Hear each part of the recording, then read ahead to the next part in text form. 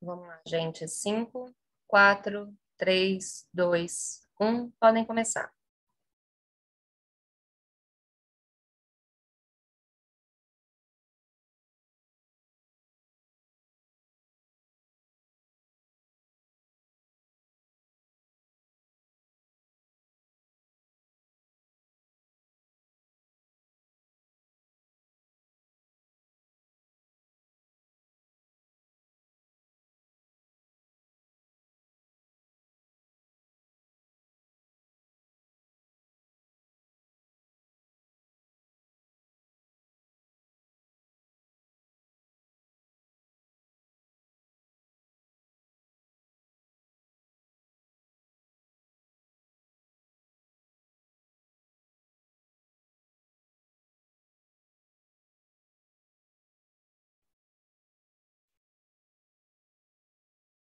A Poliane caiu? Zé, estou olhando aqui na sala de participantes, eu não estou achando ela, estou achando que ela caiu. Ela é professora de vocês? Ela é, ela que está como a coordenadora da sala, ela é pesquisadora. Alguém tem um contato para mandar o link novamente para ela? Ah, ela voltou. A Poliane voltou. Poliane, você me ouve? Tá tudo certo? Acho que ela caiu de novo. Parece que ela caiu de novo.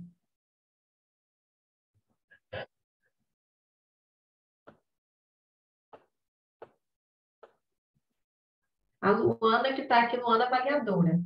Né, Luana?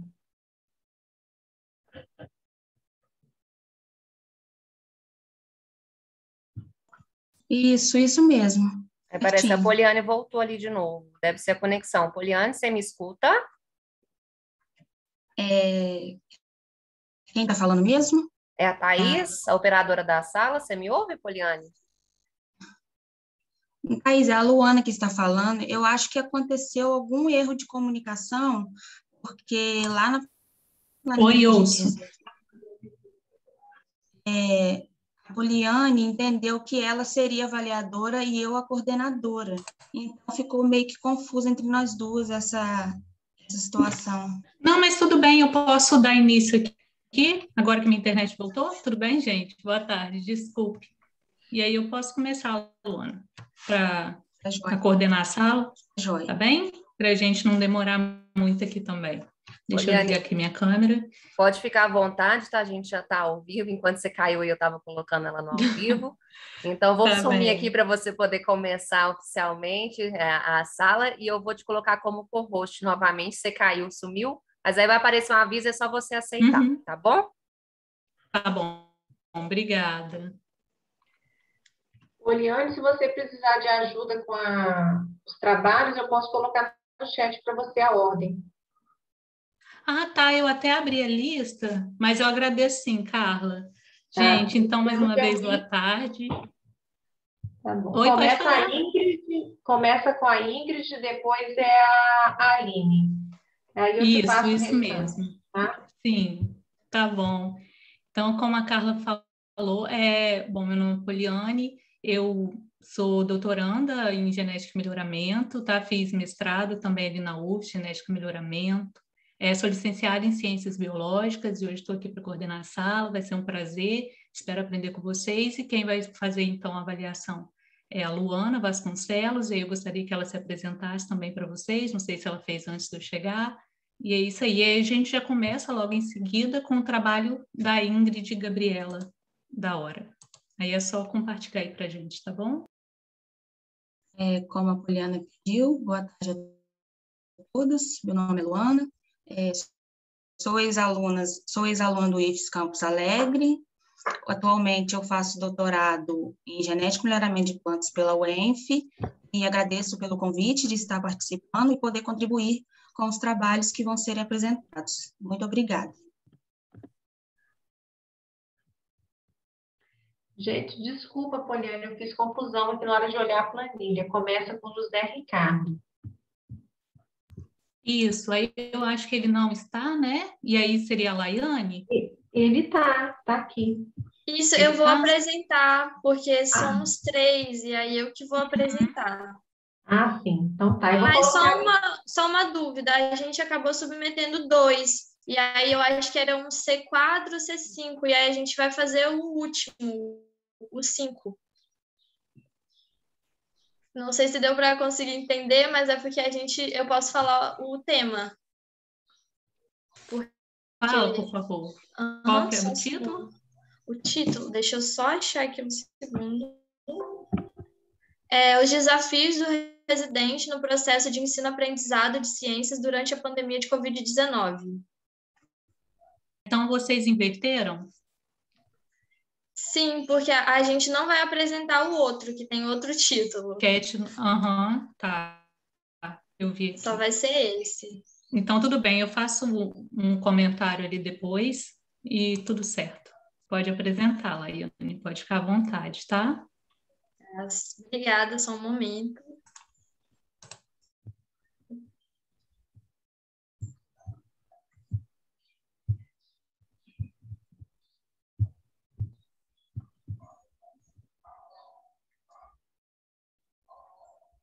Minha tela está aparecendo? Tá sim, Laiane. Sim. Aí, só relembrando, tá? Você tem até oito minutos para falar, e depois a gente Uhum. tem uns, até cinco minutos para a avaliadora poder contribuir, tá bom? Pode ficar à vontade. Boa sorte. Perfeito, obrigada.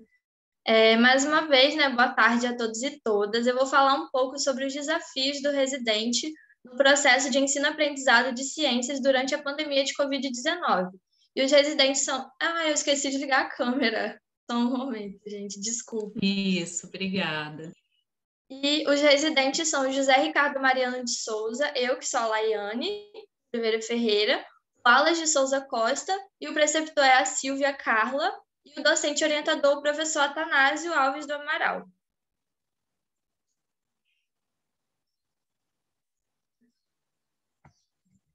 Tá passando, e agora? Ai, gente, ó, desculpe, não tô conseguindo passar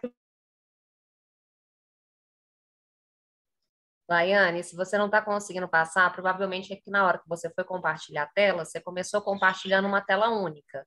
Então, começa de novo e deixa compartilhando todas as suas telas. Aperta aquela opção de todas as telas. E aí, na hora que você for mudar a tela, ele vai te acompanhar. Ah, tô tentando achar aqui porque. Deixa eu ver se tá em inglês. Vamos ver agora se vai. Continuou não indo. Qual que é a opção que você está Tenta- apertando na hora que tenta você vai em também. share screen? Porque aparece telas, né? Tem o screen e tem uma outra embaixo, apresentação, que aí é da outra página.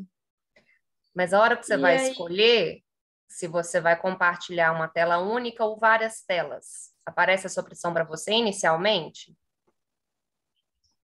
Hum, não. É, não tô vendo.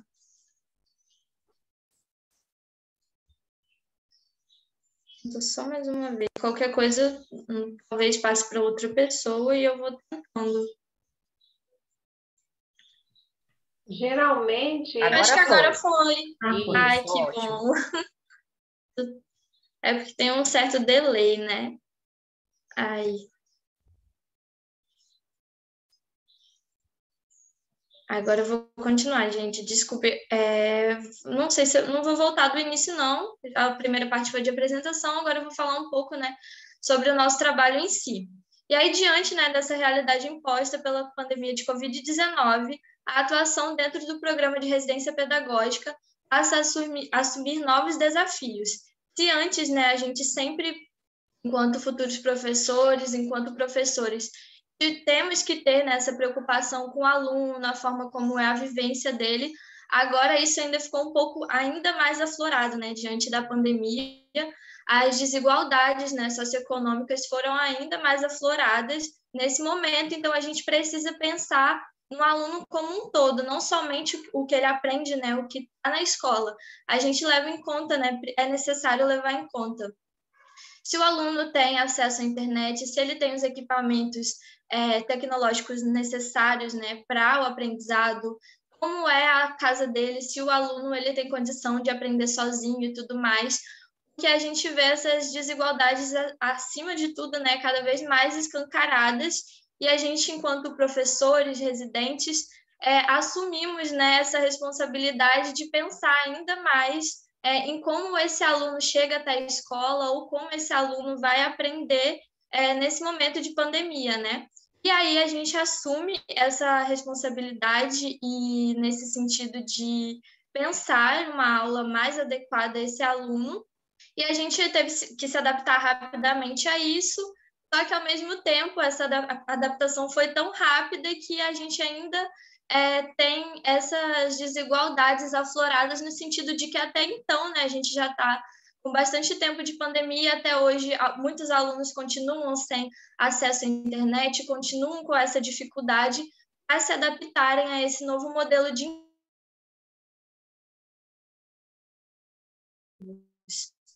e o objetivo era possibilitar aos alunos o conhecimento, a identificação de cada um dos reinos existentes, sua organização taxonômica e suas respectivas importâncias para a vida e o equilíbrio no meio ecológico.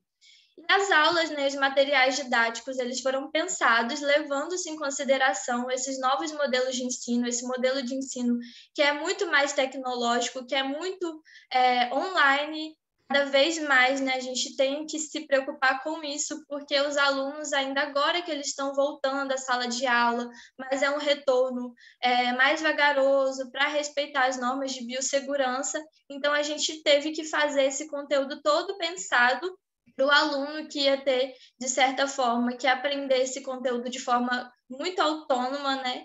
Nem sempre isso é uma coisa que é fácil né, para o aluno, nem sempre isso é uma coisa que de fato ocorre. E aí a gente fez esse conteúdo nessa associação do conteúdo programático é, pensada no cotidiano, pensada nessa realidade do aluno. E aí a gente utilizou alguns materiais, esses recursos que a gente utilizou, sobretudo, são recursos tecnológicos online, a fim de facilitar né, esse momento de aula, esse momento de aprendizado do aluno. E a gente utilizou material expositivo no PowerPoint. Esse material expositivo, ele fica né, com a professora. Ela tem esse acesso a esse material para utilizar dentro de sala de aula, mas também esse material é muito utilizado com os alunos. E aí a gente faz esse material de uma forma com que o aluno consiga associar o que ele usa, né, o que ele vê no cotidiano dele.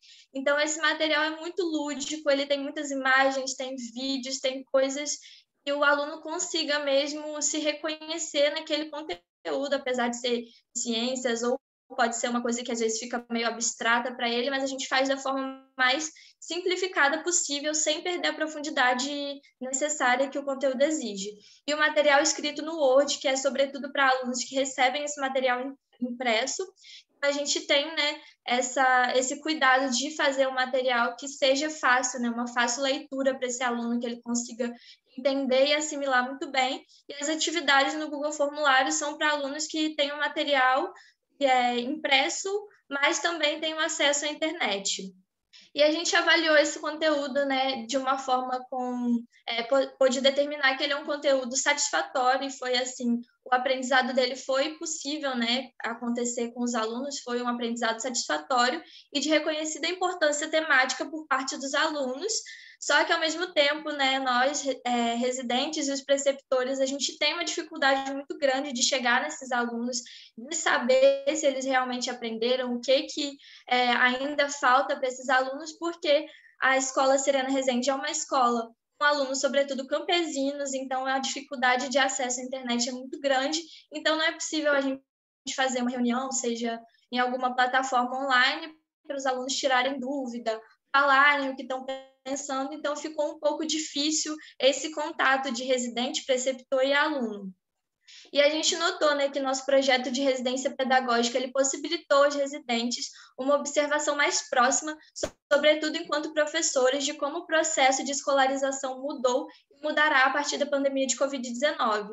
Eu tenho certeza que se não fosse o processo né, de residência, o subprojeto de residência pedagógica, nós, enquanto né, futuros professores, teríamos essa dificuldade além de entender a realidade do aluno, de entender como está ocorrendo esses processos de pandemia. E isso foi assim muito importante para a gente nesse sentido de saber que agora a sala de aula tá, exige né, grandes tecnologias, grandes não, exige tecnologias né, dentro de sala de aula, o ensino está cada vez menos tradicional e que a gente tem essa necessidade de inovar na sala de aula. E o meu agradecimento, né, o nosso agradecimento vai para a Escola Sirena Rezende, à Secretaria de Educação do Espírito Santo, ao IFES Campos de Alegre e à CAPES. E basicamente isso. Obrigada pela oportunidade, pessoal.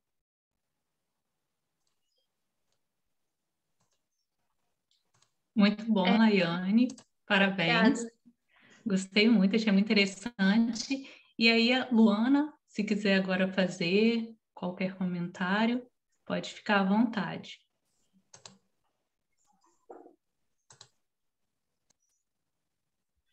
É, primeiramente, eu gostaria de parabenizá-la, Laiana, pelo, seu trabalho. É, você fez uma boa apresentação, dentro do tempo, feitinho, e achei super interessante o seu trabalho, e eu, enquanto ex-aluna do, do Campus Alegre, eu também já participei do PIBID, inclusive na Escola Sirena Rezende. É, gostava bem, como você disse, são alunos que estudam lá, são alunos do meio rural, do interior, e é, não é bem uma pergunta, eu só queria saber, assim, qual foi a sua maior, a, a, é, vocês, qual foi a maior dificuldade de vocês para o desenvolvimento do trabalho, em meio a essa pandemia, como que vocês conseguiram desenvolver, qual foi a experiência adquirida, e é isso. Uhum. Então, é, quando a gente. É difícil falar isso, né? Mas quando a gente fala em pandemia e acesso ao ensino, as dificuldades são gigantescas, mas eu acho que de fato foi isso que eu falei um pouco, né? De você conseguir chegar ao aluno, conseguir chegar de fato a saber. A gente até hoje, por exemplo, eu falo por mim, não sei o rosto de nenhum aluno, a gente não sabe, porque a gente não tem esse contato com o aluno. Então, a gente pensa uhum. na realidade desse aluno, só que de fato a gente não sabe, nunca conviveu com esses estudantes, com a gestão da escola e tudo mais, então acho que fica esse contato um pouco vago, então isso acaba dificultando, sabe? Mas os aprendizados foram muitos, sabe? Porque eu falo por mim mesma, eu não saberia é, como trabalhar futuramente, né? Porque a gente tem o contato do estágio, só que o estágio foi presencial e agora a gente faz a residência de forma remota. E aí agora a gente tem essa noção de como seria, de como a gente vai trabalhar daqui para frente, sabe? Porque a realidade da escola vai mudar totalmente pós-pandemia. A gente nunca mais vai ter aquele ensino só o professor, giz, sala de aula. Então, a gente vai ter que se adaptar muito a essas novas formas de ensino. Então, eu acho que isso possibilitou muito a gente conseguir entender como vamos fazer agora, sabe? Sim, é exatamente isso mesmo, porque esse contato aluno e professor e a gente enquanto estagiários é muito importante, porque facilita e é, é bem mais, assim, contribuidor gente está presente, mas a gente tem que se adaptar a, ao, ao ensino remoto e, e, e, levando em frente. Eu te agradeço, parabéns pela presença, apresentação e muito obrigada. Eu agradeço, obrigada. Então, a gente vai dando continuidade. Eu gostaria. O Matheus está aí? Agora vai ser a apresentação do Matheus com a gamificação para o ensino de biologia. É isso mesmo, Matheus? Isso, isso mesmo. Tá bom. Bom, prazer ter você aqui. Sinta-se à vontade, tá? Se você já quiser ir apresentando. Ah, para compartilhar a apresentação para todas. Oi? Oi. Deixa eu só. É, só não está em tela cheia ainda. Você pode dar F5, Matheus? Isso, perfeito. Agora testa okay. só para ver se está passando para o lado, rapidinho. É. Isso, ótimo. Então, boa tarde, meu nome é Matheus. vou apresentar aqui um, um trabalho desenvolvido durante o programa de residência. Esse trabalho intitulado Gamificação para o Ensino de Biologia, Kahoot como Tecnologia para a Educação, foi desenvolvido por mim, por Rayara Manso, Ana Clara Porco, uh, com também né, o auxílio da professora preceptora Silvia Ramagnoli e sob orientação do professor Atanásio Amaral. Bem, para o desenvolvimento desse, desse trabalho, a gente pensou primeiro na, no contexto que estávamos vivendo, que é o contexto da pandemia, o ensino remoto, e como, é, quais seriam os desafios que nós deveríamos ter durante, durante esse processo. Então, é, todo mundo né, que, que viveu durante, é, que está tá lecionando durante esse, esse período, é, percebeu que foi necessário que houvesse diversas adaptações, e então essa necessidade de reinventar a forma do ensino, ela trouxe à tona algumas tecnologias. E as tecnologias, elas abriram espaço para uma metodologia ativa, que é a metodologia que utiliza uh, os jogos para o ensino, então chamado de gamificação. Nesse sentido, então, nesse trabalho aqui, a gente apresenta uh, a utilização do Kahoot, que é uma plataforma online, uh, de um jogo no estilo quiz para para captação de, de informações do, dos alunos né? e facilitação desse, desse aprendizado. Então, como eu disse, o objetivo que nós tivemos aqui nesse trabalho foi aprimorar e avaliar a aprendizagem do aluno. Então, a, o Kahoot ele dá essa deu essa possibilidade para a gente, né, de tanto de ao mesmo tempo avaliar e, uh, e, e garantir que esse aluno aprenda. Então, bem como promover a motivação e o engajamento do aluno e por fim, né, relatar qual foi, como foi a nossa experiência do, do Kahoot, utilizando o Kahoot com esses alunos. O referencial teórico ele surge para alguns trabalhos, como por exemplo o trabalho de Aguiar, em que ele descreve a, a, essa nova realidade que nós estamos vivendo do ensino é, em meio à pandemia, então do ensino remoto, então híbrido, né, que carece de, de, novas, de novas tecnologias, que é endossado por, por e colaboradores. É, então, a gente pensou quais seriam essas tecnologias possíveis para para utilizar em sala de aula durante durante esse período. E nesse sentido, a gente analisando o trabalho de, de quadros, percebeu que a gamificação é uma estratégia possível e também que a, a, a tecnologia, como, está, como a gente viu no, nos casos anteriores, que ela está presente né, nesse, nesse meio atual, e que seria, então, a possibilidade de a gente usar da tecnologia em conjunto da gamificação para facilitar o ensino. Bem, então, para isso, a gente desenvolveu um trabalho na Escola Sirena Resende, que fica localizada na, na cidade de Alegre, feita com 45 alunos do primeiro ano do ensino médio, e é, tudo isso foi realizado depois que a professora ministrou o conteúdo, então o conteúdo foi todo ministrado, e por fim é que foi realizado a, a, o trabalho com, com o Kahoot.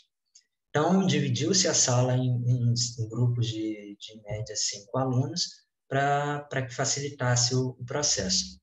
E as questões foram desenvolvidas no assunto de ciclologia para a gente conseguir conferir isso. E eles usaram os computadores da escola por, por questão de, de facilitar o acesso.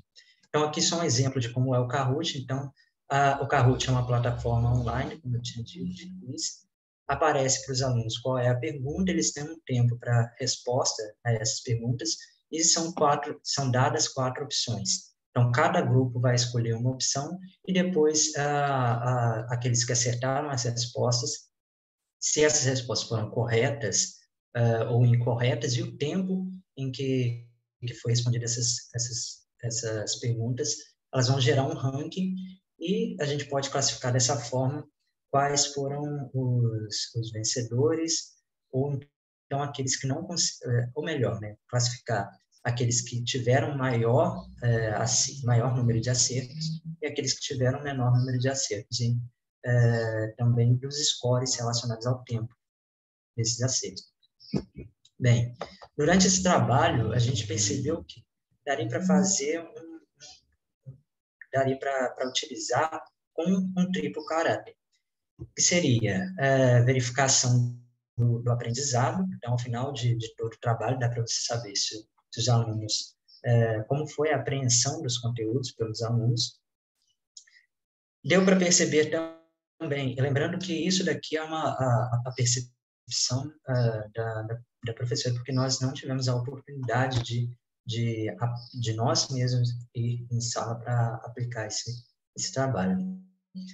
É, a, a, cativação do, dos alunos, né, quando, quão cativados esses alunos ficaram com esse, com esse trabalho, e também a apreensão do conteúdo por eles. Tá? Então, a, nós verificamos que essa intervenção foi bem recebida pelos, pelos alunos, só que houve uma dificuldade muito grande em relação ao, ao acesso. Então, por isso eles tiveram que usar o, os computadores da escola para que uh, todos eles tivessem acesso, já que uh, é um, uma plataforma online. Então, essa é uma das desvantagens que a gente observou lá, como, como é uma escola interior, né? a, a cidade de Alegre interior, o distrito, distrito de Celina, em que está localizada a escola, é um pouco mais é, distante né, da, dessa realidade. Então, muito difícil para que os alunos tivessem acesso à internet. E essa foi a principal dificuldade que a gente observou dentro, dentro do trabalho. Então, por isso que os alunos foram divididos em grupos, não só para compartilhamento de, de conhecimento, mas também para facilitar o trabalho.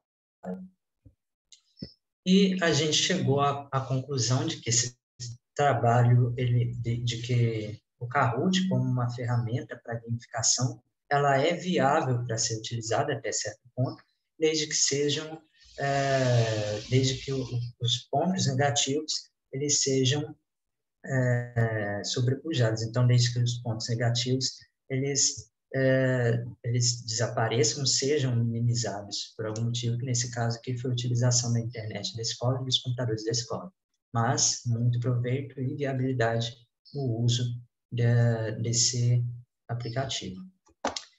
Os nossos agradecimentos à escola, à Secretaria de Educação, ao campus de Alegre e à coordenação a CAPES pela, pela bolsa, bem como à professora né, por ter é, cedido o tempo dela para aplicação desse, dessa, dessa metodologia e as referências.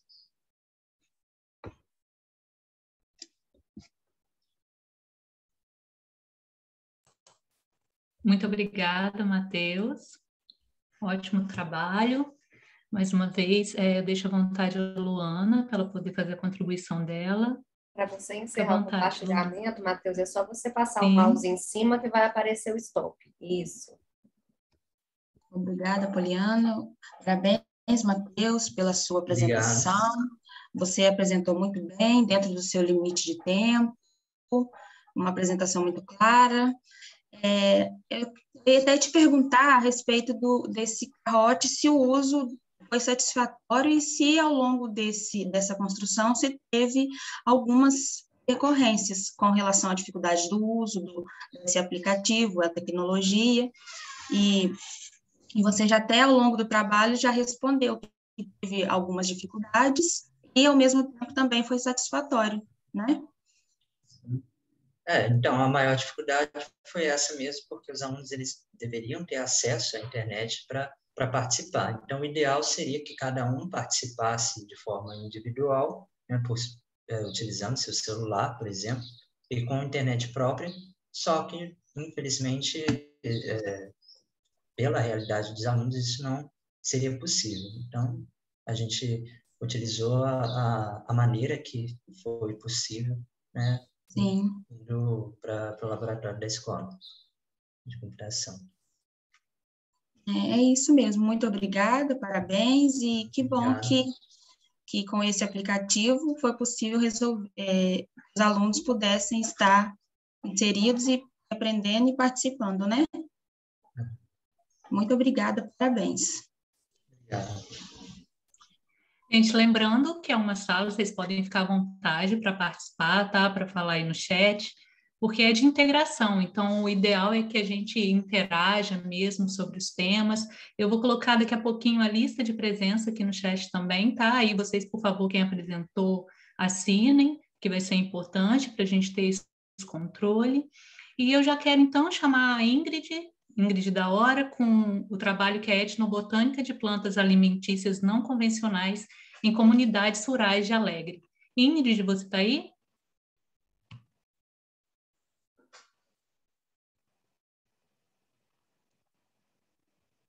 Ei, vocês me ouvem? Eu te ouço normal. Você quer que mande tá a solicitação aqui para a Ingrid desmutar o microfone dela? Vou mandar aqui para ela desmutar para ver se ela escuta. Tá.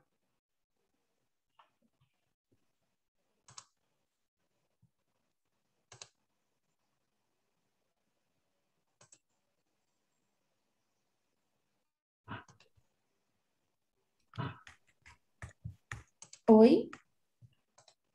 Oi? Tá ouvindo direitinho? Ah, sim, tô. Pode ficar à vontade, tá, Ingrid? Você tem oito, até oito minutos para falar. Vai ser um prazer poder ver seu trabalho. E é isso, pode ficar à vontade para compartilhar com a gente. Tá certo.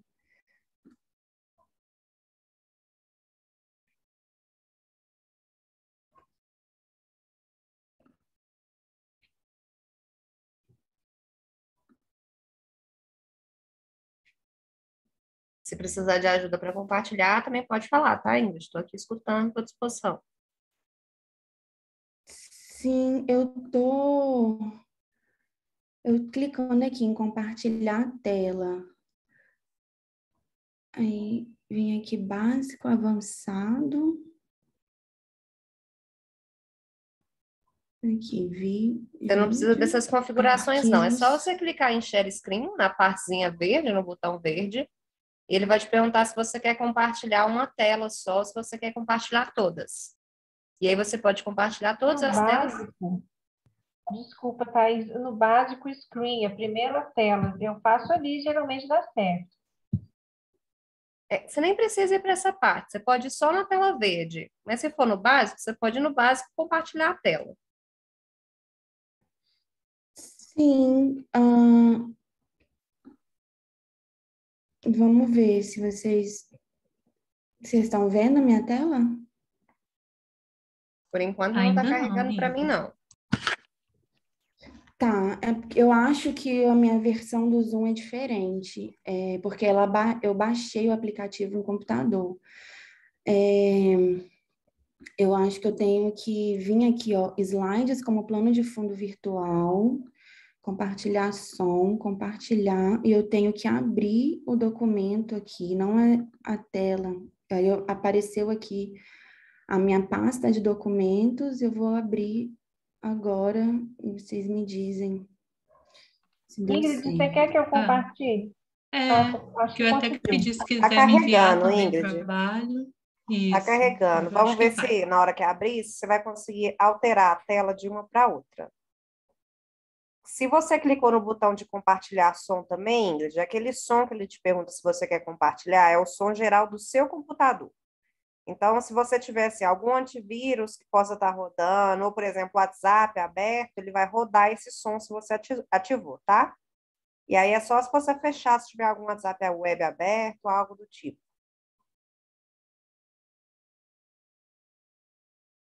Ele não vai compartilhar só seu microfone.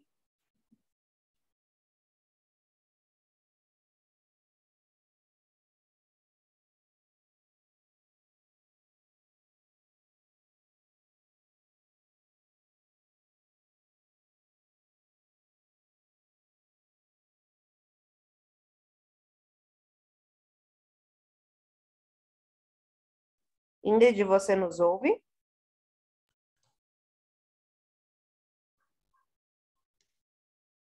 Ingrid?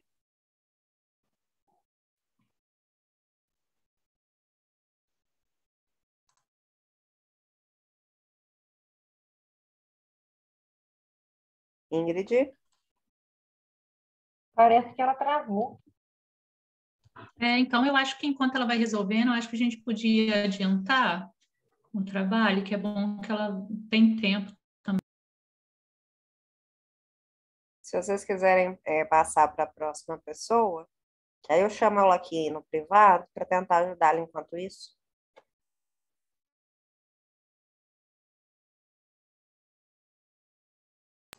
Eu acho que é melhor mesmo. Aline, você está aí? Oi, estou sim. Então, se você puder já ir apresentando para a gente, Aline Bestete, né? Com a manutenção, ampliação e construção de acervo digital do herbário, Xiloteca, Carpoteca e Espermateca do Instituto Federal do Espírito Santo. É isso mesmo? Isso mesmo.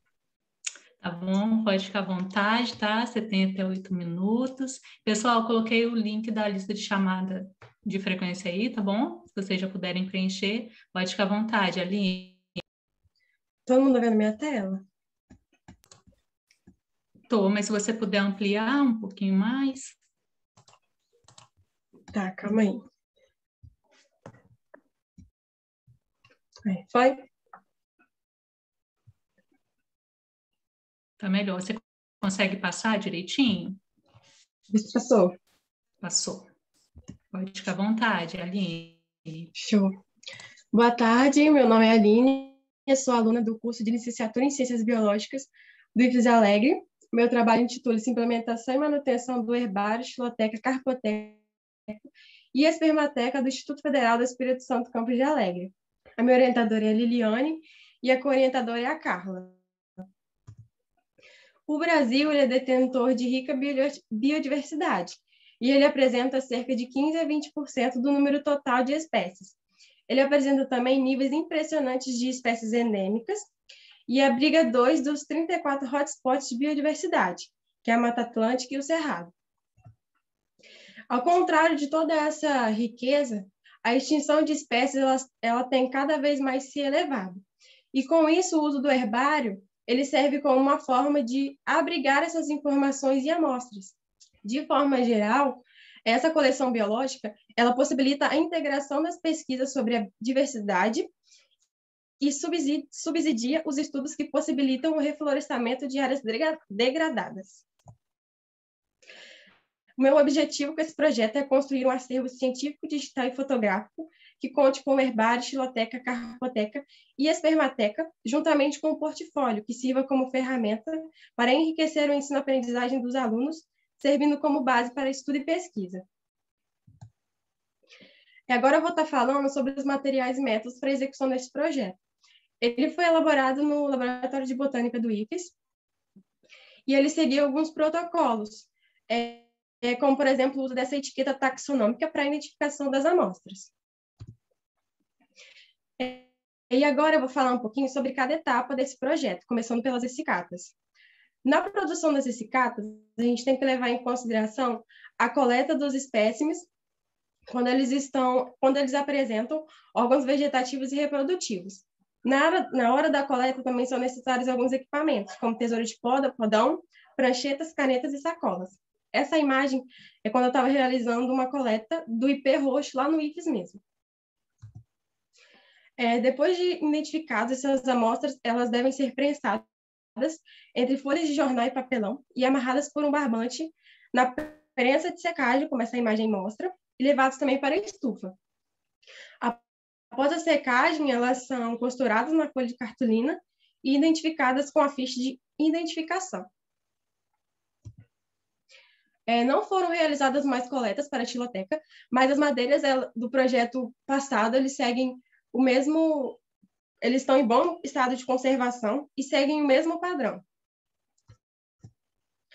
A capoteca, ela conta com um acervo de frutos secos coletados no IFES e nos arredores da, do IFES, nas comunidades. E a espermateca conta com as coletas das sementes. Ambas seguiam o mesmo protocolo e de padrão de identificação. É, o nosso acervo digital, na verdade, ele é um site que, após toda essa identificação, ele foi alimentado com essas informações. E mesmo no site, o padrão ele é o mesmo, sendo que cada amostra ainda foi fotografada para poder facilitar a sua identificação. O portfólio ele foi construído por meio das essicatas identificadas e organizadas por ordem alfabética de nome comum. Esse portfólio ele vai ser um adicional herbário, sendo como uma ferramenta de estudo que poderá ser levado para a sala de aula, é, ocasionando menos riscos ao, ao material. O portfólio ele vai ser guardado no laboratório de botânica para que todos os alunos e os professores tenham acesso a ele. Como resultado, nós temos um total de três amostras de essicatas, 32 amostras de xiloteca, 11 amostras de carpoteca e três amostras da espermateca. As novas amostras inseridas no herbário são provenientes de coletas realizadas no PEAMA, nos Jardins do IFES e na cidade de Irã Monteiro. Ambas amostras seguiram os padrões de protocolos de identificação. É, aqui eu trouxe é, alguns exemplos da, da nossa escicata. É, respectivamente, as imagens são o sombreiro, a unha de vaca, o cinamomo e a escova de garrafa. Aqui eu trouxe alguns exemplos da estiloteca também, da carpoteca e, por fim, da espermateca. É, aqui agora, esse aqui é a página inicial do nosso site. Esse site ele conta com diferentes abas, cada uma para etapa específica. A primeira é, aba, eu tentei representar o nosso objetivo do, inicial do projeto, tentei abordar também é, o que são as essicatas, o que é a xiloteca, o que é a capoteca e o que é a espermateca. E nas abas seguintes, a gente retratou as imagens e uma pequena descrição. E, por fim, a aba de registro fotográfico, para ficar é, assim, mais enriquecedor, eu coloquei algumas imagens. No final, eu vou disponibilizar o link para vocês terem acesso a esse site também. É, aqui também eu trouxe uma foto do nosso portfólio. Nesse portfólio, eu busquei retratar tudo das plantas. Eu inicio sempre com uma descrição, abordando a sua importância, a origem e algumas características, além também de eu colocar uma foto mais detalhada de cada parte da planta. Eu coloquei uma dela inteira, uma do caule, uma dos ramos, das folhas, das flores, dos frutos e das sementes. É, quando a gente passa a página, eu coloquei uma escicata da flor em si e uma da folha também, para quando o professor ele levasse esse material para a sala de aula, ele pudesse também retratar os diferentes tipos de folhas, como, por exemplo, se ela é simples ou composta, se é trifoliada e etc. É, conforme o gráfico mostra, a família Fabácea teve uma maior ocorrência, seguida da família Meliaceae e Bignoniaceae. Em outros trabalhos, apesar de tratar aspectos diferentes, a família Fabácea ela também teve um grande destaque, isso porque essa família ela apresenta uma maior variação nas estratégias de sobrevivência em ambientes secos. É, o gráfico 2 ele nos mostra a relação de espécies nativas e exóticas, sendo as espécies nativas é, representando cerca de 70% das nossas amostras. Macedo ele cita que esse número de espécies nativas em relação aos seus níveis de sobrevivência e desenvolvimento. E, contrariamente, é, os números das espécies exóticas é porque elas apresentam menos esses níveis de sobrevivência. É, entretanto, a introdução de espécies exóticas ela tem se agravado devido à intensificação do comércio, seja essa, essa entrada por meio da forma intencional e também da não intencional. Os impactos antrópicos eles estão cada vez mais frequentes e dessa forma cresce a demanda pela necessidade de políticas que visam a preservação da nossa biodiversidade, além também do uso e a construção de coleções biológicas para armazenar essas informações. Ao fim desse projeto, foi possível a obtenção de 59 amostras de herbário. Com a coleta e essas novas, e essas novas análises das novas amostras, foi possível a construção de um acervo digital e o do portfólio, com a finalidade de servir como, esse, como essa base e esse guia de estudo para os alunos.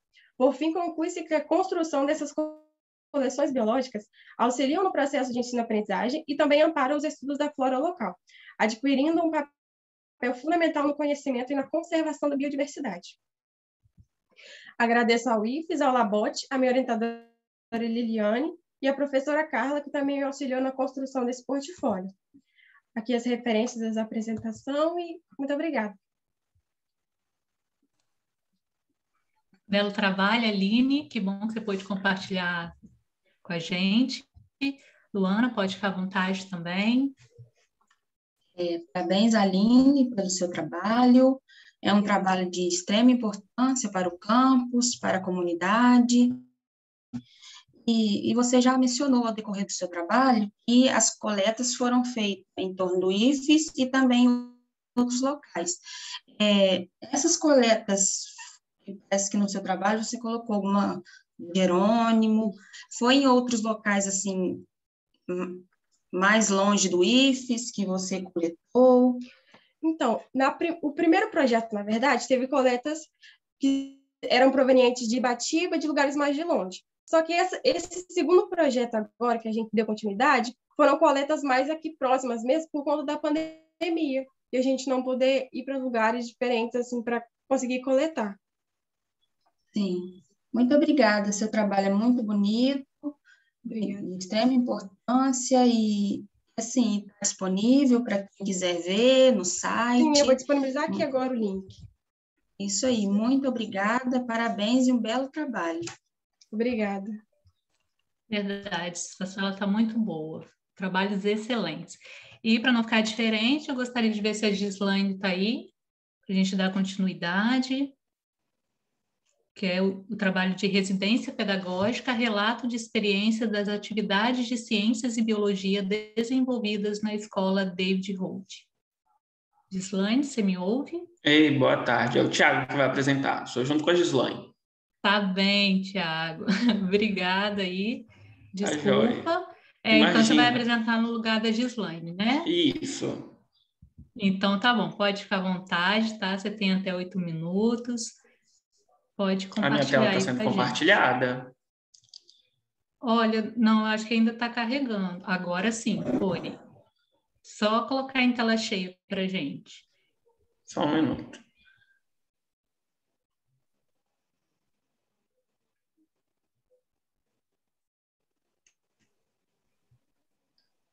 Muito bom. Tá passando certinho, certinho, né? Fica à vontade. É, testa aí, por favor. Isso, foi. Foi. Deixa eu ligar minha câmera. Como eu faço, gente? É em Start Vídeo, Só embaixo. você clicar. Espera aí que não está em tela cheia para mim. Só um minuto, gente. Só para mim ligar a câmera aqui. Na hora que você passa o mouse embaixo assim, vai ter um microfone, vai ter um símbolo de câmera, você vai clicar em Start Vídeo. Ah, é porque para mim sumiu a, a tela do, do Zoom. Só um, só um momento, gente. Ah, agora sim, achei aqui em cima.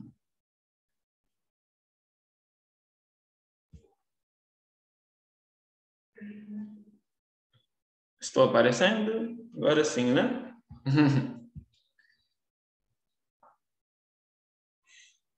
tá certo, pessoal? Certinho. Show, então vamos dar início. Boa tarde a todos, é um grande prazer estar aqui conversando com vocês, tendo esse momento da jornada de integração. E o nosso trabalho, ele tem por intitulação Residência Pedagógica, Relato de Experiência das Atividades de Ciências e Biologia desenvolvidas na Escola Davi Hold. É, os residentes envolvidos são a Gislaine, minha colega, e eu, Tiago, e nossa preceptora é a professora Gislaine também, e o docente orientador, o professor Vilácio. Bom, é, a introdução do nosso trabalho, ela visa buscar a formação profissional como parte importante de todo ser humano e o nosso trabalho ele vai buscar é, expor um pouco do que foi desenvolvido ao longo do, do, nosso projeto de residência pedagógica na escola EFM Davi Hold, Escola de Ensino Fundamental e Médio, que fica localizada no município de São Roque do Caraã. Então, a gente vai estar contando um pouquinho para vocês sobre a nossa experiência na escola. Passou, né? Bom, é, nosso referencial teórico, ele traz essa citação de Zabalza, que diz que a residência pedagógica tem papel fundamental na formação é, dos professores, né? Pois é o momento que o graduando ele vai estar tá, tá se apropriando um pouco sobre o que acontece da escola e tendo visão sobre os debates abordados. Então, a gente, por meio desse processo, a gente quis ter esse contato maior com a escola, né? Por meio da residência, eu acho que é uma das formas mais facilitadoras disso estar acontecendo. E o programa de residência pedagógica, ele vai exercer esse papel de qualificação da educação e vai estar fazendo com que todos os graduandos eles tenham esse contato diretamente com a escola, né? Tendo em vista aí essa visão que Gonçalves trouxe. É, por fim, a gente também quer falar um pouco sobre é, o, o, aluno de licenciatura ele está tendo esse contato com o ambiente escolar, visando a vivência e experimentação de situações concretas, ou seja, aquela visão que a gente teve nesse período de pandemia, que a gente não teve contato, ou até então no nosso curso a gente não teve esse aporte pedagógico para a gente de estar tá indo até a escola, de estar tá conhecendo o trabalho e vendo de que maneira realmente funciona todo esse trabalho, todo esse projeto, né? A gente teve por meio da, da residência pedagógica. Essa é uma própria citação do edital da CAPES. Bom, desenvolvimento do nosso trabalho, é, as atividades que nós desenvolvemos foram mapas mentais. A gente aproveitou muita coisa que foi desenvolvida por nós e também é, mapas que estavam disponíveis na internet, que muitas vezes não são utilizados da forma correta, né? Os alunos têm tudo na palma da mão hoje em dia, mas infelizmente não acabam buscando esse conhecimento. Então a gente buscou por meio de resumos ilustrativos do conteúdo é, trazer isso presente para eles, seguindo sempre de listas de exercícios, né? Que buscavam é, fixar todo o conteúdo trabalhado tudo que foi pensado durante aí, é, os exercícios, durante o conteúdo em si. A gente também desenvolveu videoaulas e algumas atividades de raciocínio lógico. É, mais para frente no trabalho eu vou estar mostrando para vocês, para vocês verem um pouquinho do que foi feito. É, nosso foco, pelo menos meu e da Gislaine, foi a primeira série do ensino médio, que teve acesso a todo o conteúdo que a gente produziu, né, esse conteúdo complementar, é, mas, enfim, outras, outras turmas também foram contempladas com alguns outros conteúdos, mas nosso foco geral foi com os alunos do ensino médio, no primeiro ano. É, os conteúdos, como fatores ecológicos, níveis de organização e ciclos biogeoquímicos, contaram com a produção de planos de aula, ou seja, a gente desenvolveu todo um plano para que o professor pudesse ter essa, essa, esse, esse aporte, né? para dar sequência às suas aulas, enfim, tudo foi pensado por meio de um plano de aula e também é, contendo os exercícios para fixação, que foi aquilo que eu citei, né, para trabalhar com os alunos o, o que foi desenvolvido.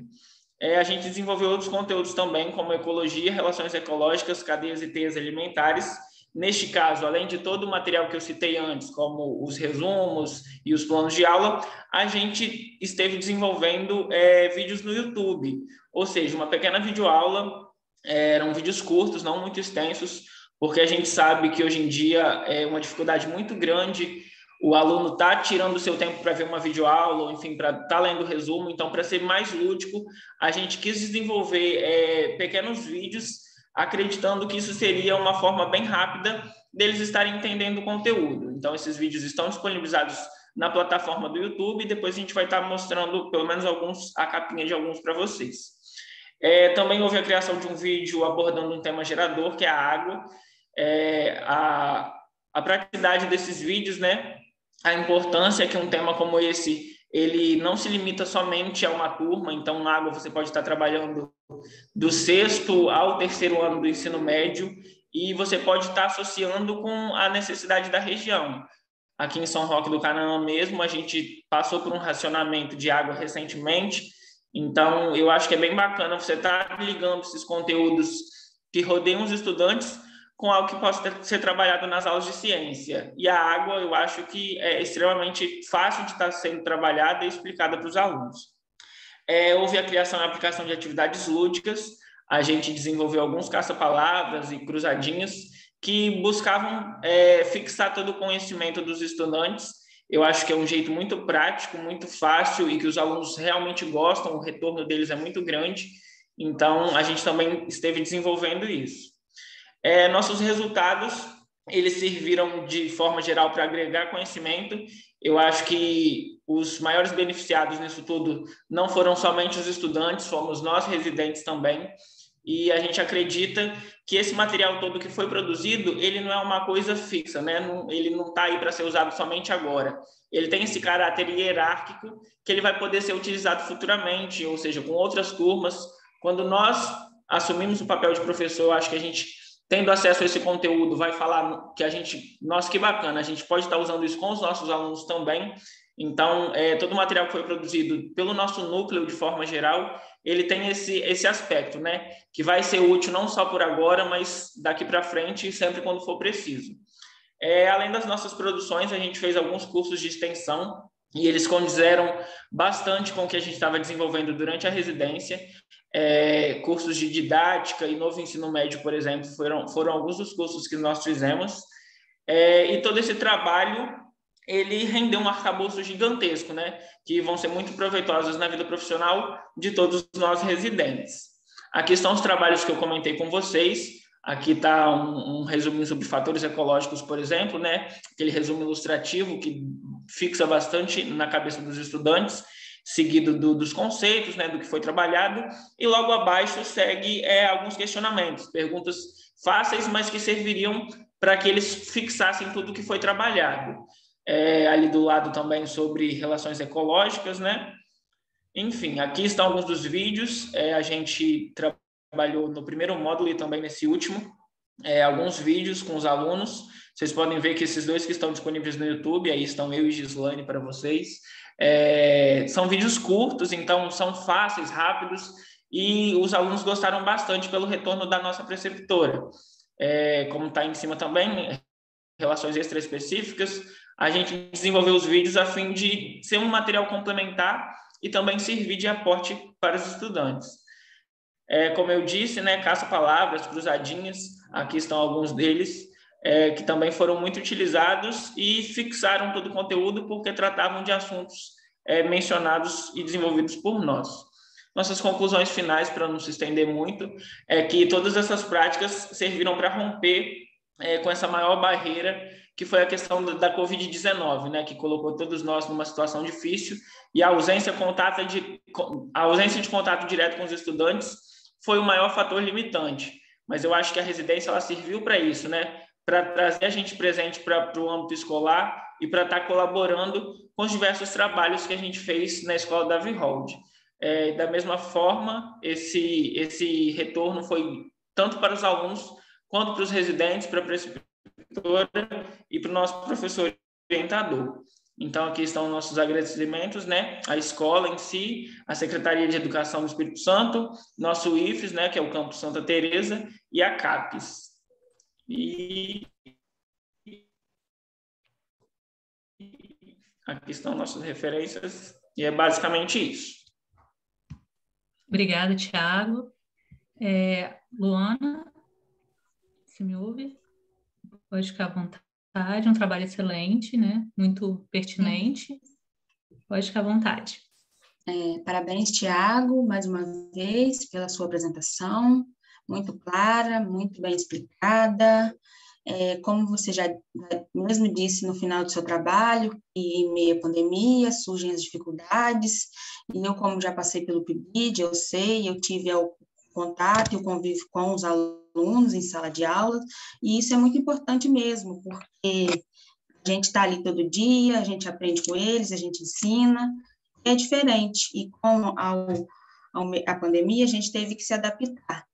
É um trabalho muito interessante, eu gostaria de saber de você é, o que foi mais marcante durante a construção desse trabalho para vocês, é, mediante as dificuldades com relação à pandemia. Obrigado pelas considerações. Eu acho que o que mais marcou a gente foi, de fato, é estar tá produzindo um conteúdo e recebendo o retorno dos alunos, porque eu acho que de nada valeria o nosso trabalho se a gente não recebesse esse retorno como forma de estar tá funcionando, né? Tá dando continuidade, está sendo muito útil para a vida dos alunos. E como eu mesmo citei durante o trabalho, né? esse material que a gente produziu, ele está aí para ser usado pelos colegas, né, pelos futuros professores. Então, todo mundo que quiser ter acesso, que quiser receber esse material, a gente pode estar compartilhando futuramente. Então, eu acho que é isso. Eu acho que o que mais marcou a gente foi estar tá realizando tudo isso e ainda tendo esse retorno, esse feedback dos estudantes e da escola. É, com certeza, isso é muito, isso é muito gratificante para a gente, enquanto pesquisadores. Muito, meu para, meus parabéns e muito obrigada. Obrigada, Tiago. Ingrid, então a Carla vai apresentar a tela para a Ingrid, a gente pode retomar nela rapidinho. E, gente, sempre lembrando do tempo, tá? Para a gente não se estender muito. E aí a gente consegue finalizar no tempinho certo, respeitando, aproveitando bem esse momento. Tá aparecendo, Carla. Agora é só mesmo deixar em tela cheia. Isso. Ingrid? Oi, tô aqui. Vocês me escutam? Sim, agora vai dar certo. Então pode ficar à vontade. Beleza. É, bom, o título do meu trabalho é Etnobotânica de Plantas Alimentícias Não Convencionais em Comunidades Rurais de Alegre. É, esse trabalho foi orientado pela professora Carla e ele precisou é, sofrer algumas modificações devido à pandemia do Covid-19, né, que ah, os órgãos do CEGEM e é, o Comitê de Pesquisa com os Seres Humanos é, orientaram que não fossem realizadas é, pesquisas com populações em situações de vulnerabilidade, né, devido à contaminação, aos riscos de contaminação.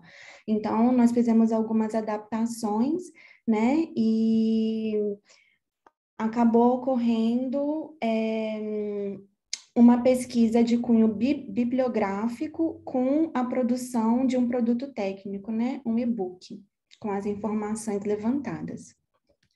É, bom, com o acontecimento da pandemia do Covid-19, tornou-se evidente as relações de desigualdade social, é, sociais, entre elas o acesso ao alimento.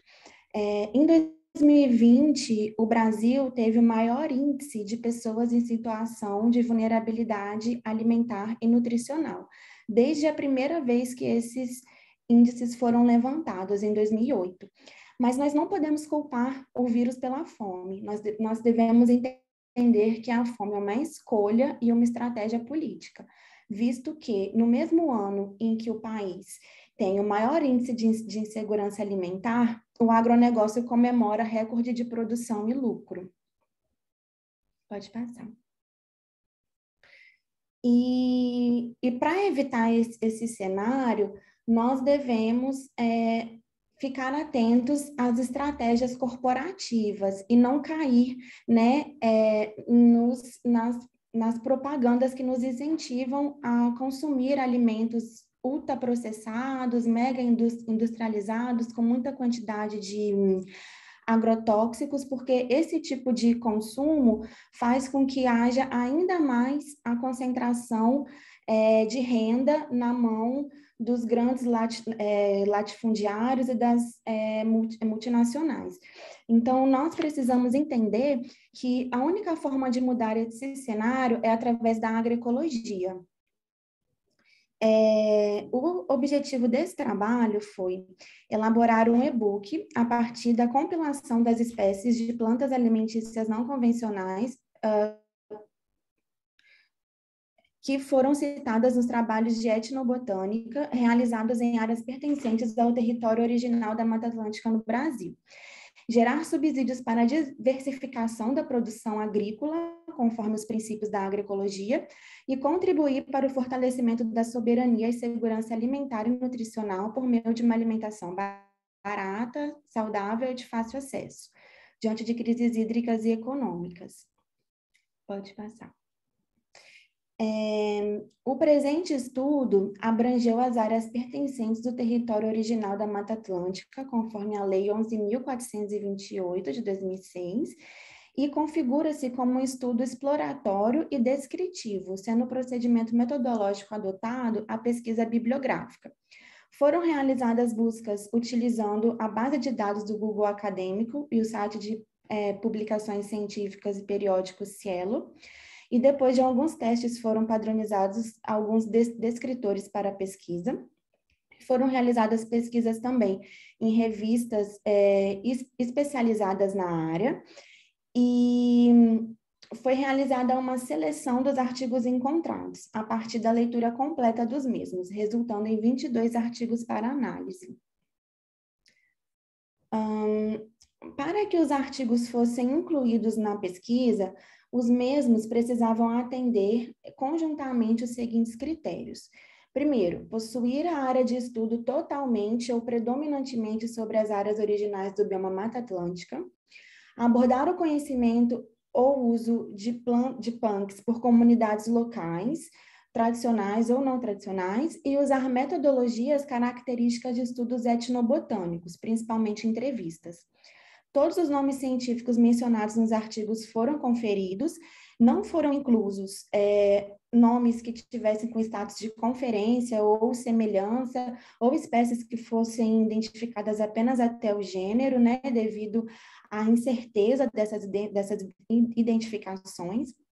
Não foram incluídas espécies comestíveis que são amplamente comercializadas ou que já são é, popularizadas, e as espécies selecionadas foram organizadas em uma listagem contendo a família botânica, o nome científico, o nome popular, as partes consumidas, formas de uso, formas de vida, distribuição geográfica, a origem, né, se são exóticas, nativas é, ou endêmicas do bioma, e o número de artigos que citaram a planta foram identificadas 260 espécies de plantas alimentícias não convencionais. Destas, 103 são exóticas, é, ou seja, são oriundas de outros países. 124 são nativas do Brasil, com predominância no bioma Mata Atlântica, mas podendo ocorrer em outros biomas também. E 33 são endêmicas do bioma Mata Atlântica. O total de espécies encontradas estão distribuídas em 76 famílias botânicas e 11 famílias são as que englobam as espécies endêmicas. As famílias mais representativas são a Mirtácea, Asterácea, Arecácea, Solanácea, Fabácea, Rosácea, Leguminácea e Cactácea. É, dentre as espécies endêmicas, as que denotaram maior relevância, considerando o número de artigos que citaram a mesma, foram a jabuticaba, a brejaúva, o cambucá e a grumichama. E algumas espécies desse trabalho foram listadas pelo Ministério do Meio Ambiente como é, espécies com grande valor econômico atual ou como plantas potenciais do, do futuro, né? Sendo estas o araçá, o butiá, a jurubeba e a cereja, um, a batata creme, o fisales, a jurubeba e o ora pronobis também estão inclusos nessa lista. E o número de espécies nativas, esse trabalho concluiu que o número de espécies nativas identificadas nessa pesquisa aponta que há uma relação próxima dos moradores com a Mata Atlântica do entorno e que, em face da grande diversidade biológica do bioma, os grupos estudados que interagem diretamente com ele possuem amplo conhecimento sobre suas espécies vegetais. E a agrobiodiversidade local das PANC torna os atores sociais rurais e urbanos aliados a estudos conservacionistas sobre as espécies da Mata Atlântica, além de contribuir para garantir a segurança e a soberania alimentar e nutricional para essas populações. A grande diversidade de plantas endêmicas da Mata Atlântica encontradas nessa pesquisa e que compuseram o e-book podem, podem ser realizadas para diversificar a alimentação de famílias camponesas e urbanas, aumentar a biodiversidade dos sistemas de produção e garantir uma maior autonomia financeira aos produtores rurais através da sua divulgação e valorização. E assegurar o modo de vida local contribui para a preservação de espécies da Mata Atlântica e do conhecimento associado a essas espécies. É, agradeço pela bolsa concedida e pela oportunidade de me ingressar no ramo da pesquisa científica, é, ao CNPq, ao IFES e ao Labot, né, o Laboratório de Botânica. Obrigada. Trabalho também muito bonito, né? Ingrid, muito obrigado por ter compartilhado com a gente. É, Luana, você está aí? Eu acho que ela estava tendo problema com a internet, não sei se ela conseguiu se é, conectar. É, cons Voltou, voltou, Conseguiu? mas está travando um pouco. Se eu cair, vocês me desculpem. Tá. É, eu já estava cheia de pergunta aqui, porque é um trabalho tão legal que se você não perguntasse, eu ia acabar perguntando. Pode ficar à Parabéns. vontade. Parabéns, Ingrid, pela sua apresentação. Você apresentou o seu tema com muita segurança, um tema muito interessante. É, é só uma curiosidade mesmo, eu queria saber se você teve alguma dificuldade com a construção desse trabalho, se esse trabalho já terminou, se tem continuidade, um próximo passo. Gostaria que você me falasse. É, bom, nós tivemos desafios, né? É, o roteiro da pesquisa teve que ser alterado, porque era uma pesquisa é, que envolvia entrevistas com populações tradicionais então, devido à pandemia, não foi possível. É... Então, tem um projeto já escrito, né? A gente tem a intenção de continuar, mas eu estou agora com meu futuro meio incerto. Não sei se eu volto para Alegre, se eu continuo aqui em Vila Velha, mas independente da minha participação, o trabalho continua, tem outras. É outros pesquisadores envolvidos, né, outros alunos também que trabalham na área, então é muito importante mesmo é, esse saber, né, está é, tá sendo di, é, divulgado para a comunidade, para as pessoas, enfim, para todo mundo ter acesso a esse conhecimento. É isso, muito obrigada, e é, é o que você disse, a pesquisa a gente tem que continuar. Mais isso, uma vez eu te parabenizo eu. e muito obrigada. Obrigada. Verdade. Então, para a gente dar continuidade aqui, obrigada, Ingrid. Vamos ver então a apresentação do Aldo. Você está aí, Aldo? Consegue me ouvir? Que tem o título de Vivências dos Pibidianos e Impactos das Atividades Pedagógicas Não Presenciais no Ensino de Ciências na Escola. Evaldo Damasio. Aldo, está me ouvindo direitinho? Consegue me ouvir? Sim, está um pouquinho baixo, mas consigo. Se você puder já compartilhar sua tela. Ah, sim, vou compartilhar. Caso, vai ser, vai, abrir sua câmera. Vai ser nós quatro. O, eu, a Stephanie, a Shirley e a Débora. Tá. Aí eu lembro do tempo, tá? Que vocês têm até oito minutos para dar tempo da gente poder compartilhar informações. Estão conseguindo ver a tela? Já. Tô vendo. Só testa para ver se está passando direitinho, por favor. Isso, tá certinho. Então, boa apresentação, pessoal. Uhum. Então, é, boa tarde a todos. Eu me chamo Aldo, eu sou um dos vividianos é, do IF de Santa Teresa e vou apresentar o nosso, nosso, nosso trabalho, que é falar sobre a vivência dos pibidianos e os impactos uhum. das cidades pedagógicas não presenciais no ensino de ciências da Escola Professor Evaldo, sendo que os estudantes são eu, é, Aldo, a Débora Martins, a Chile, a Stephanie, nosso professor supervisor, o Flávio Homem, e nossa coordenadora de área, a Jaqueline Scalden.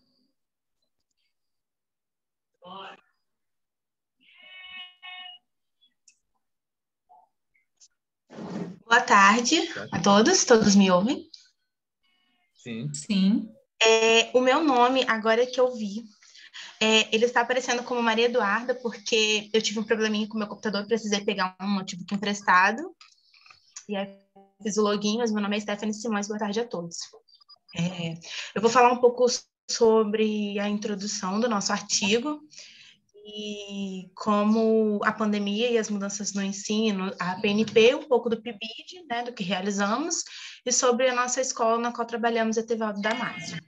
É, ao, ao decorrer dessa pandemia, né, né, do novo coronavírus, a forma que encontramos, nos encontramos em paralisação completa da educação em nosso país, é, a utilização do ensino remoto é, tem sido feita através de plataformas oferecidas pelas escolas, é, com professores gravando videoaulas, materiais enviados por meio de WhatsApp e outras formas online. Aqueles que não puderam é, ter as suas formas online foram disponibilizados materiais impressos. Ao decorrer desse período de pandemia, é... só um momentinho. Oi? Estão me escutando? Perdão. Sim. Sim, sim. Perdão por interromper, acho que a minha conexão travou. Tá. Estão todos me ouvindo? Ok. É, o programa institucional de bolsa à docência, o PIBIT, como mais conhecido, sendo este um programa voltado para valorização né, de futuros docentes, e durante o nosso processo de formação, tem, tem, o PIBID tem em mente a formação de professores com a melhoria do, do ensino junto à escola pública. E nós, agora, PIBIDianos, que participamos do programa é, na escola Etevaldo Damasio, pode voltar só um pouquinho, só para falar um pouquinho sobre a escola. É, na, na escola Etevaldo Damasio, nós fomos orientados pelo professor Flávio Homem, é, onde infelizmente não pudemos ter contato, né, no, do, porque do período de pandemia, mas como eu disse, nós desenvolvemos atividades e encaminhamos para o professor da melhor forma possível para que essas atividades fossem desenvolvidas e, e as, principalmente os nossos alunos, né, nós, como nós orientamos, não fossem lesados através do momento que estamos vivendo. Pode passar, por favor, Aldo.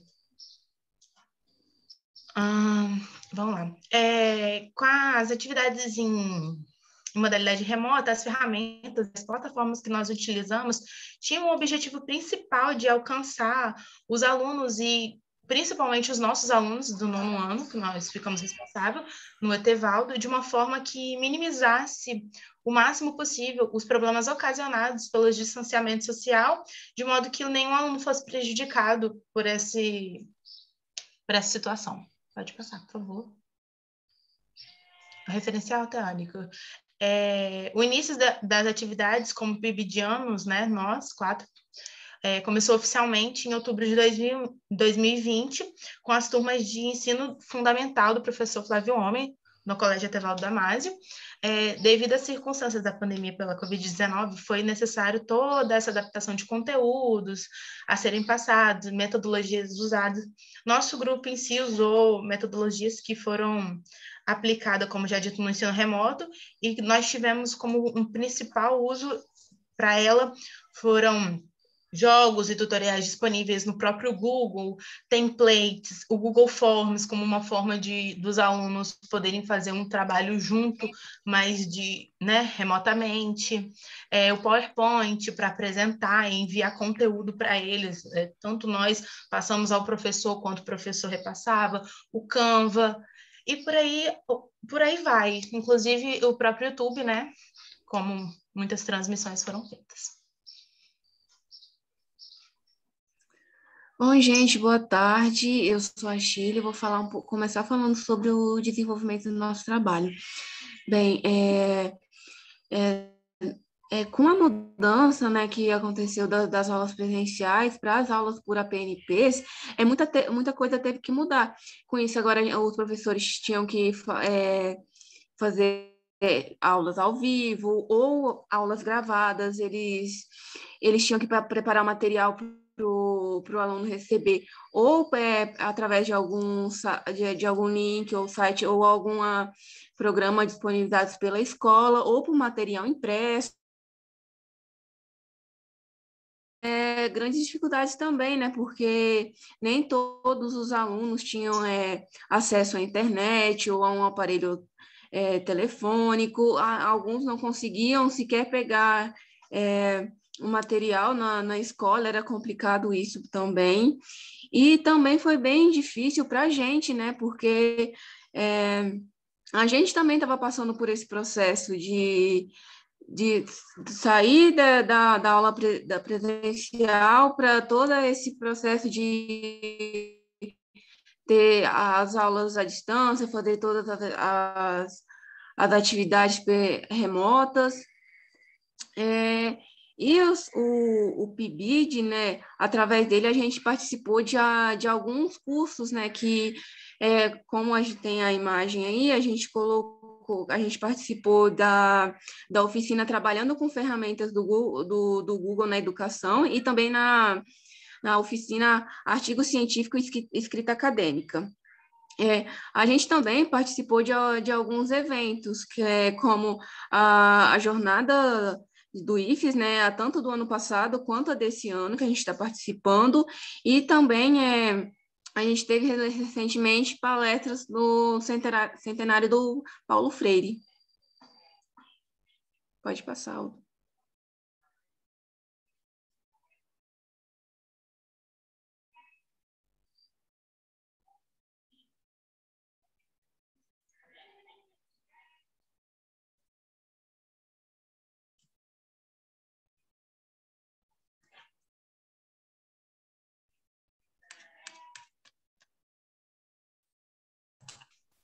Perdão. Tá, você ouvir? Pessoal, tô, tô te ouvindo. Lembrando do então. tempo, tá, pessoal? Que já está Certinho. bem em cima do tempo. Então, se vocês puderem dar uma aceleradinha, fica à vontade. Certo, então. Então, no caso das atividades, a gente produziu é, atividades sobre diversos assuntos, desde reprodução, hereditariedade, ligações químicas, e, e, e, e também, né, mas porém, tinha um problema. A gente não tinha contato com os alunos, a gente não tinha contato de nenhuma forma.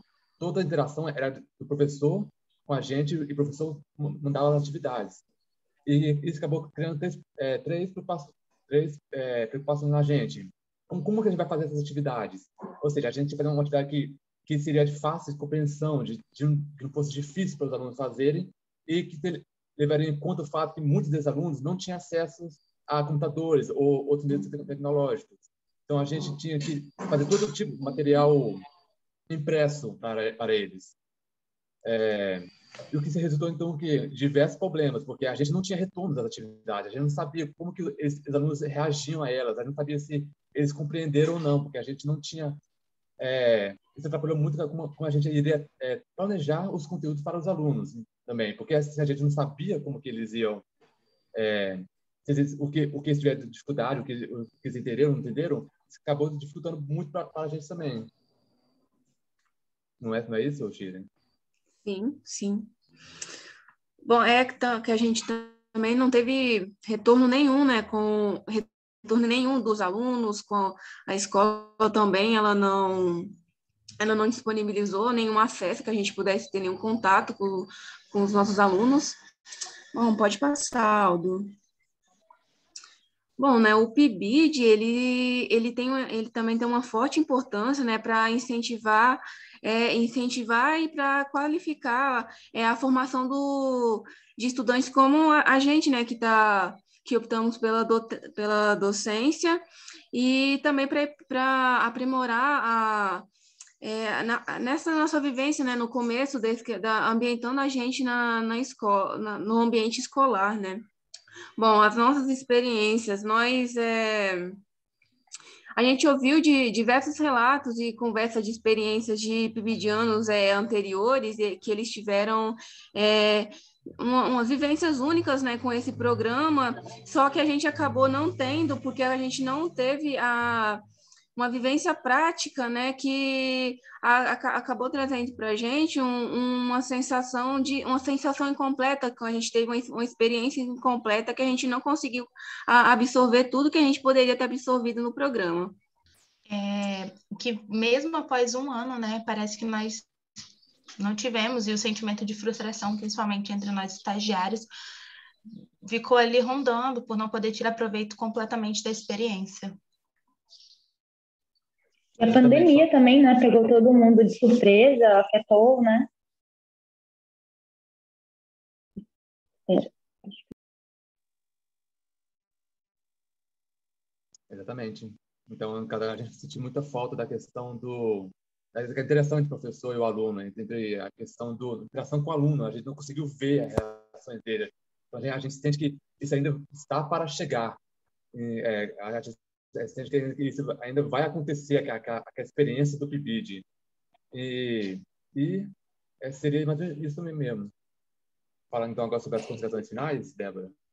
É, as nossas considerações finais é que a gente sabe que a pandemia né, mudou o paradigma de todo o país nesses quase dois anos e foram necessárias bastantes mudanças drásticas é, em todos os níveis de sistema educacional para é, minimizar né, essa, esses danos pela suspensão. E aí as APNPs foram formas de tentar amenizar a situação, mas ao mesmo tempo ela é, expôs problemas que estavam presentes no sistema atual educacional. É, e as atividades focavam, as atividades das APNPs focaram nos principais problemas que surgiram, que foi a falta de interação entre o professor e o aluno, o acesso aos meios tecnológicos e a compreensão dos conteúdos, né? É, e, por fim, a gente do programa é, teve um resultado de experiência incompleta, mas a gente tem a, a, a expectativa de que, com o retorno à normalidade, é, o retorno com as aulas presenciais, né, que, de forma segura para todo mundo, é, possamos ter a experiência da docência que esperávamos ter inicialmente. E aqui seriam nossos agradecimentos, que seria a Escola Tevaldo, o professor Flávio, a Secretaria de Educação do Espírito Santo, ao nosso campus do Santa Teresa, ao CAPS, justamente, pelo nosso apoio financeiro, e também nossa, a nossa coordenadora do, do, é, do programa aqui, que é a Jaqueline, e um, um especial com, um, colegas nossos da, da, faculdade, que é o Vanderlei e o Tiago Menara. E é isso, nossas referências.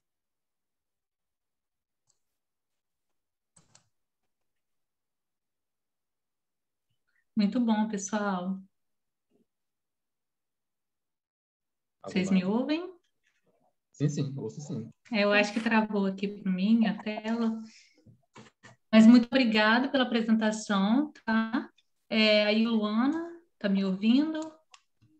Eu sim, Poliana. Tá certinho, pode ficar à vontade também para contribuir. É, parabéns, Trabalhos meninos. são ótimos, né?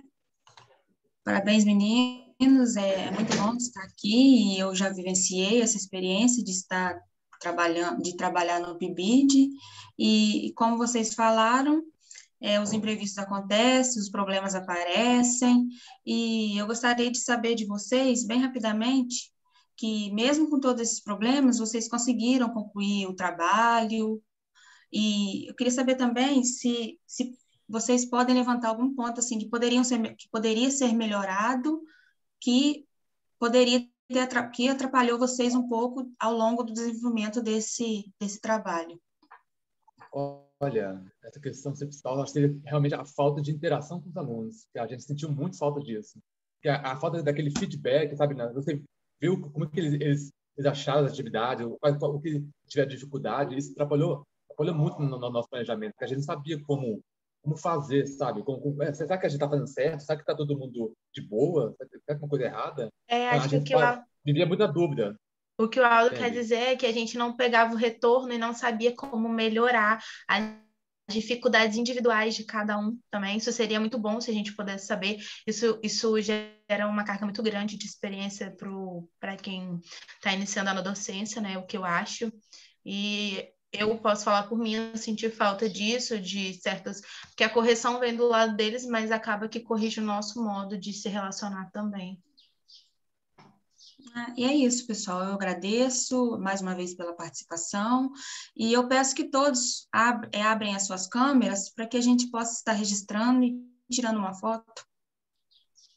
E eu queria aproveitar também, gente, para agradecer a presença de todos vocês. Eu sei que tem mais gente aí na sala. Se tiver algum orientador alguém que quiser né, falar alguma coisa, contribuir com esse momento, vai ser muito bem-vindo. Carla está aí, e que sabe, então podem ficar à vontade, tá? É muito. Obrigado, Poliana. Bom, é, a, a, tela pode parar de ser compartilhada, que aí a foto fica melhor depois também. Isso. É, ô, Poliana, eu queria aqui aproveitar a oportunidade de agradecer a você pela disponibilidade e conduzir os trabalhos aqui dentro da sala, tá bem? obrigado, porque você né, disponibilizou seu tempo, as suas habilidades para lidar com todas as questões dentro da sala. Assim como eu, eu também quero agradecer a, a, a, as avaliadores da sala. Quem está avaliando a sala aqui é Carla? Sou eu, a Luana.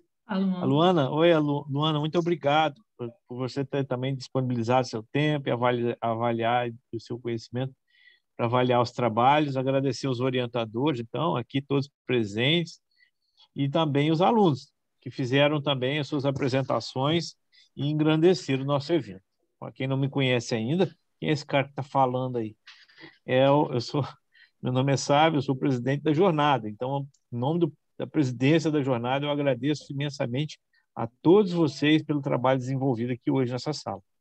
E eu convido a todos a continuarem conectados né, no evento. Daqui a pouco vai ter a, a palestra de Linguista, Letras e Artes. Amanhã tem mais evento. Então, a jornada não acaba aqui só na apresentação de vocês, não. Tem muita coisa e ainda vai ter muita coisa ainda né, depois daqui. Então, continuem conectados e obrigado mais uma vez pela presença e a participação de todos vocês. Obrigada, Fábio. Pessoal aí que está com a câmera bloqueada, gente, se vocês puderem desbloquear para a gente tirar uma foto. Tiago, Aline, Matheus, Eduarda, Davi. Eu vou aproveitar para sair na foto também.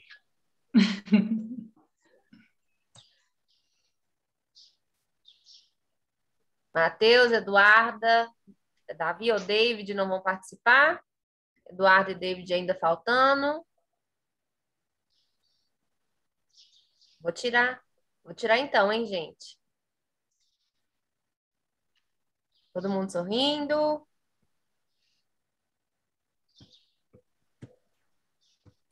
Aí, vou mandar lá no grupo.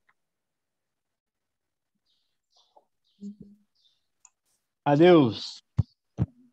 Até a próxima. Muito obrigada, gente. Tchau, foi um prazer. Tchauzinho para todo mundo. Tchau.